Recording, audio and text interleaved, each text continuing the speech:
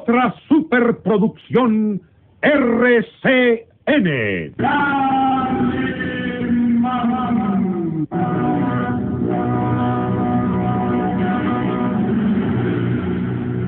Caballero con los hombres, Galante con las mujeres. tierno con los niños. Implacable con los malvados. Así es.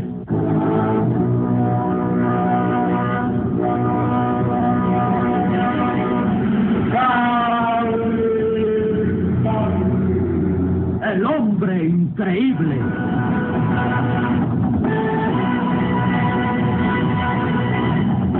Una terrible leyenda se hace realidad, ocasionando la más escalofriante aventura.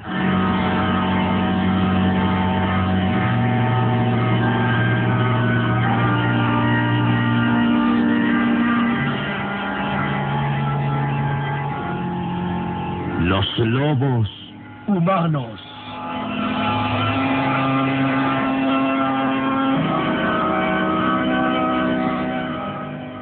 Inspiradora de sus memorias en la famosa revista de historietas Calimán. Estelarizada por la linda estrella de teatro, cine, radio y televisión, Carmen Molina, el primer actor Alberto Gavira, Carlos González Cardoso, Antonio Muñoz Ledo, Luis Alba como Solín, la narración del galán joven Isidro Olace e interpretando a Calimán, el propio Calimán, en un libreto original del mago del misterio, Víctor Fox.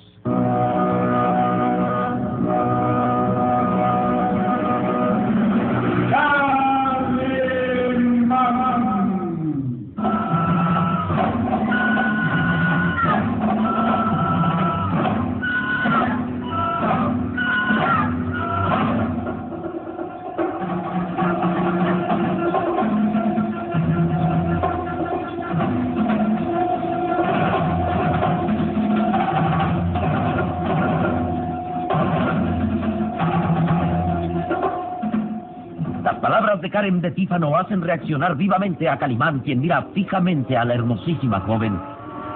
¿Qué dice? ¿Lucas Van Doren pasará esta noche en el castillo? Sí, a pesar de que es noche de luna llena. Comprende. Mi padre desea borrar cualquier sospecha en contra de Lucas y le ha ordenado que permanezca entre nosotros, demostrando así su inocencia. Mm, muy interesante. Mucho, muy interesante. Esta noche será la primera en que Lucas Van Doren esté a nuestro lado. Recurrirá a alguna trampa. Recuerda que anoche lo teníamos cerca y cuando empezó a salir la luna, escapó dejándonos abandonados cerca de los pantanos. Mm, esperemos que ahora no suceda lo mismo, Solín. Calimán, Calimán, prométame que hará todo lo posible para que se terminen las desavenencias entre usted y papá. Yo estoy en la mejor disposición. Él Carmen. quiere que todo se solucione acepta la presencia de un inspector de policía que dará fe de la muerte del profesor Lewis. Eso demuestra su interés por solucionar todo esto, ¿no le parece? Sí, sí. Y es digno de alabar que será en sus costumbres. Calimán, Calimán, dígame sinceramente, Sí. ¿cree usted que el lobo humano vuelva a atacar esta noche? Los azules ojos del hombre increíble quedan fijos en el rostro de la hermosa joven. Sí. Ah, Por supuesto que esa bestia humana volverá a atacar esta noche. a pesar de que se exponga a caer prisionero. A pesar de todo, debes saber una cosa, Karen. De existir en verdad un lobo malo por estos contornos, no vive riesgos ni consecuencias. Su instinto asesino lo obliga a atacar sin descanso todas y cada una de las noches de luna llena. Su bestialidad no mide riesgos y solo piensa en saciar su sed de sangre. Matar. Matar. Solo matar. Puede hacerlo en la aldea como en otras ocasiones. Puede estar acechando en los caminos en espera de algún solitario caminante que se cruce a su lado. Puede llegar aquí mismo como lo hizo anoche, dando muerte al profesor Lewis. Estaremos a la expectativa. Eh, Karen, le aconsejo no se aparte del castillo. No. Procuraré tenerla bajo vigilancia. Sí, sí, claro. Esta vez tomaré todas las precauciones. Y mi atención se concentrará en vigilar a Lucas Van Torres. Hágalo, hágalo. Así saldremos de dudas. Ajá. Aunque Karen, me desconcierta el que haya aceptado quedarse entre nosotros. ¿Significa eso que está libre de culpa y que solo las apariencias lo condenan? Yo insisto en que Lucas es el asesino, señor. Eh, Lo sabremos esta noche, Salim. Esta noche. Calimán avanza hasta el ventanal de su alcoba. Mira hacia los grandes patios que circundan el castillo. Revisaremos puertas y ventanas. Estaremos a la expectativa, vigilando a nuestro alrededor. Mi sexto sentido me advierte que a pesar de todo, habrá un nuevo asesinato esta noche, Salim.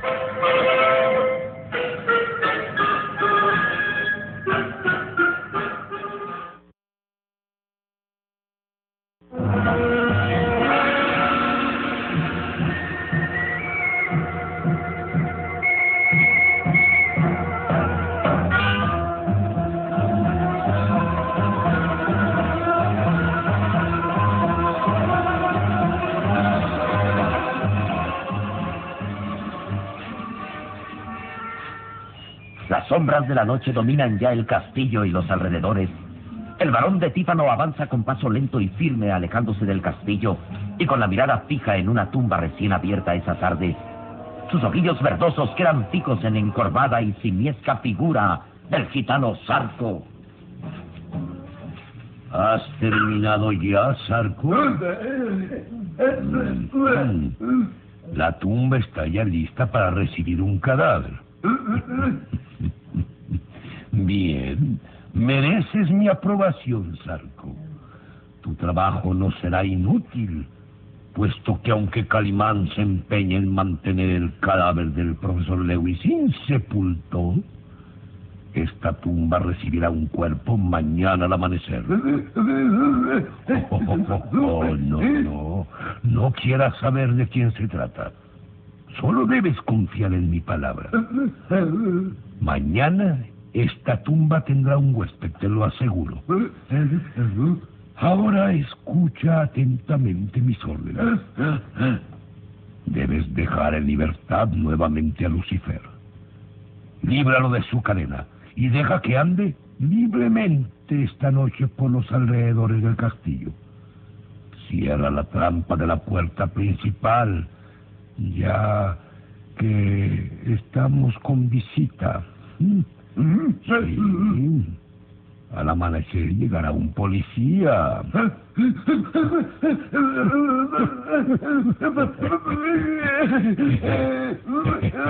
¿Te dan miedo los policías?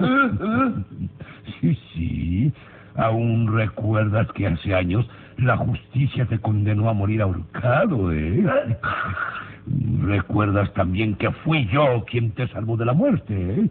Oh, oh, no, no temas.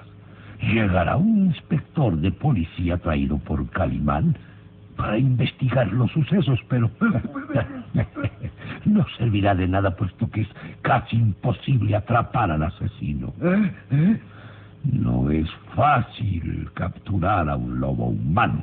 El gitano Sarco mira temeroso a su alrededor. Luego señala hacia el cielo medio oculto entre la niebla que cada vez es más densa. ¿Qué dices, Sarco? Sí, sí, sí, sí, claro. También esta noche habrá luna llena. Cuando el viento disipe la niebla, aparecerá la luna. Y llegará el momento en que el asesino se lance al ataque por tercera noche consecutiva. Recuerda, deja al mastín en libertad. Abre la reja principal del castillo y cierra la trampa del foso. Después, quédate vigilando el camino, porque el inspector de policía llegará al amanecer. Mm. Vigila, vigila bien, Sarko.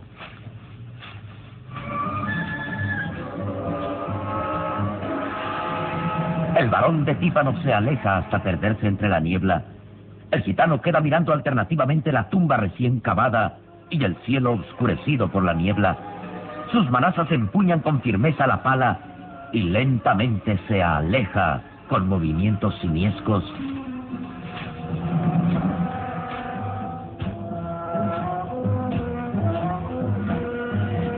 Todo está dispuesto para aguardar a que salga la luna llena y con ella la presencia del asesino.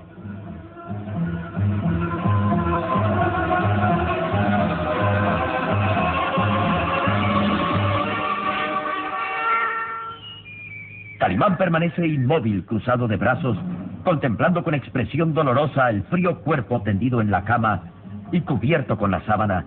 Van a cumplirse 24 horas de la muerte del infortunado profesor Lewis y Calimán ha ungido el cuerpo con un líquido de hierbas del Tíbet que evita la descomposición del cadáver. Calimán reza casi en silencio por el descanso del alma del anciano profesor.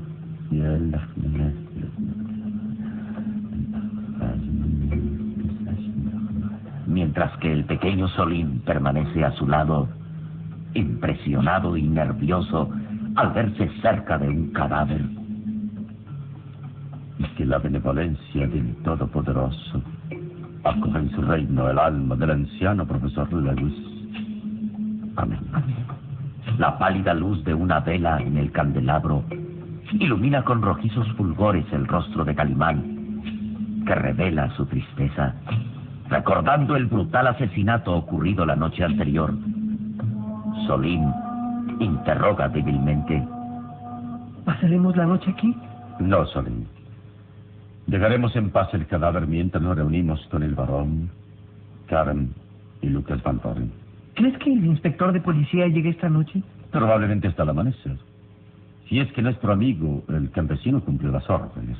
¿No te parece extraño que el varón de Tífano acepte la presencia de un policía? Al principio se enfureció al saber que, que habías mandado llamar a un inspector. Su actitud obedece al afán que tiene de demostrar que Lucas Van Doren es inocente. Pero entonces, ¿quién es el asesino?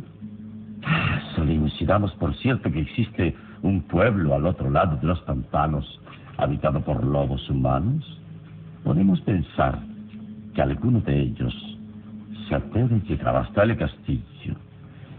Y si lo hizo anoche, ahora también vendrá. Habrá que tener los ojos muy abiertos. Sí, desde...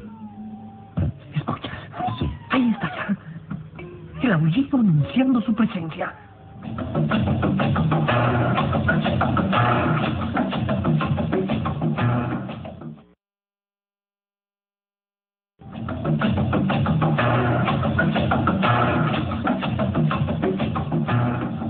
Tétrico aullido de un lobo solitario hace estremecer al pequeño Solín. Con ojos desmesurados mira a Calimán al tiempo que dice... Está ya. Calma, Solín. No empiezas a sentir miedo. Creo que ese aullido proviene de Lucifer, el mastín favorito del varón de Tífano. No creo que sea un lobo humano. ¿Por qué? Aún es muy temprano. Falta aún que el viento disipe la niebla que cubre los contornos y luego aparezca la luna llena. Ven, salgamos de aquí, que debemos estar reunidos con nuestros amigos. Dejemos en paz el cadáver del profesor Lewis.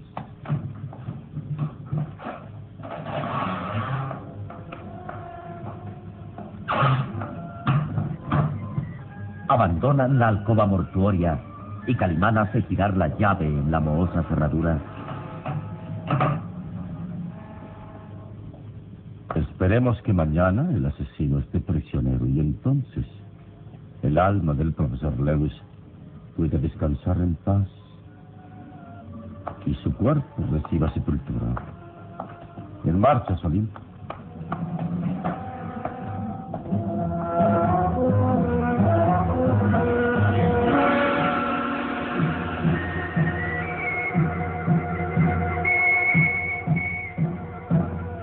Las velas de los candelabros, empotrados en los viejos muros, iluminan tenuemente el salón principal del castillo. El varón de Tífano mira fijamente a Lucas Van Doren, quien permanece inmóvil, acomodado en el viejo sillón de cuero, con la vista fija en las flamas de las velas que danzan débilmente. Es sientes tranquilo, Lucas?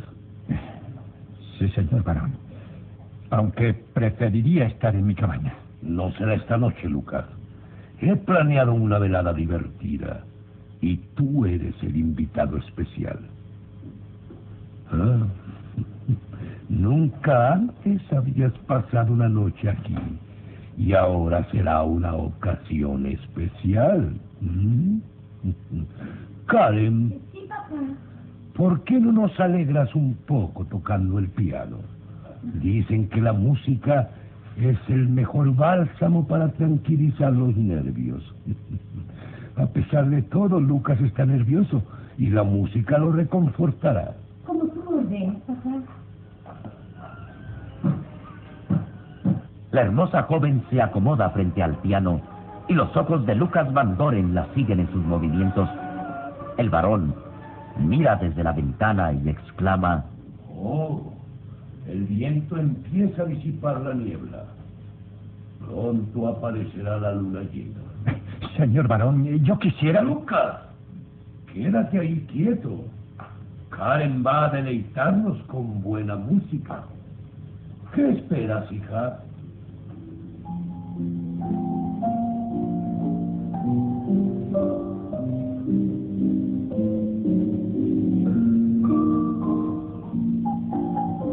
Notas de aquella romántica melodía adquieren una expresión extraña. Parecen resonar tristemente contra las viejas paredes del salón. Lucas Van Doren se muestra cada vez más nervioso. Gruesas gotas de sudor empiezan a perlar su frente pálida, mientras que el varón se acomoda en el sillón de terciopelo rojo, enfundado en su traje negro, con la bufanda roja atada al cuello. Es la viva estampa de un hombre de épocas pasadas. La hermosa Karen continúa tocando el piano, pero no puede contener una sensación de miedo que es como una mano fría que le acaricia la espalda. ¿Qué sucede, Karen? ¿me oyeron? Fue un aullido. Me parece que... Sigue tocando. Pero, Hazlo, hija. Karen hace esfuerzos para contener su angustia. Sus claros ojos se mueven alternativamente, mirando a Lucas Van Doren y a su padre. Luego, mira hacia la ventana, descubriendo que el viento disipa la niebla. De pronto, una voz resuena desde lo alto de la escalinata. La. Calimán, lo esperamos. Bienvenido. Calimán y el pequeño Solín avanzan hasta el centro del salón. El hombre increíble mira fijamente a Lucas Van Doren. ¿Cómo se siente, Lucas? Déjeme tranquilo.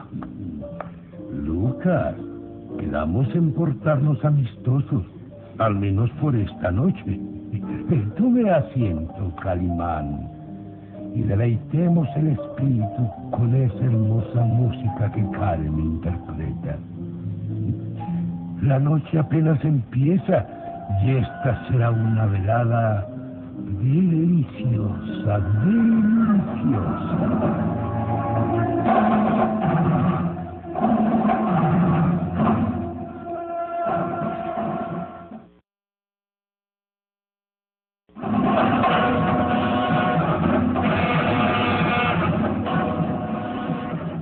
Notas de aquella melodía retumban entre las viejas paredes del salón del castillo. Karen continúa tocando el piano, mientras que el varón de Tífano la mira fijamente, como tratando de adivinar sus pensamientos. Calimán y el pequeño Solín ocupan asientos cercanos al gran ventanal, y Lucas Van Doren entrelaza las manos nerviosamente mientras el sudor resbala por su rostro demacrado. ¿Es necesario permanecer aquí toda la noche? Eh, eh, Estoy cansado. Si ustedes me lo permiten, me gustaría ir a la alcoba a dormir. Eh, Es tarde y... Quédate quieto, Lucas. Pero... Tranquilízate. No hay nada por qué preocuparse. ¡Ay, está No debe preocuparse, Karen. Creo que es Lucifer quien aúlla. ¿No es cierto, señor Barrón? Sí, está usted en lo justo. Ordené a Zarco que dejase libre a Lucifer también esta noche. Lucifer aúlla porque advierte que falta muy poco para que aparezca la luna llena. Ah, ¿Qué es lo que están esperando? No comprendo por qué tengo que estar aquí. Lucas, siéntate. Esta noche todos estaremos reunidos. La luna llena saldrá dentro de poco y, y será una noche inolvidable. Inolvidable.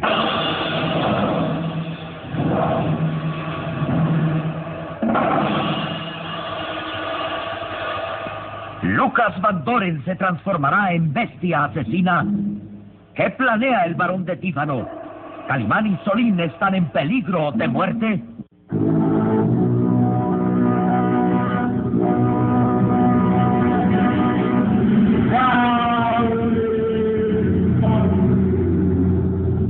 Nuestro próximo programa habrá más emoción y misterio en Los Lobos Humanos. Y recuerde, donde haya una injusticia que reparar, o la emoción de una aventura, o la belleza de una mujer, ahí está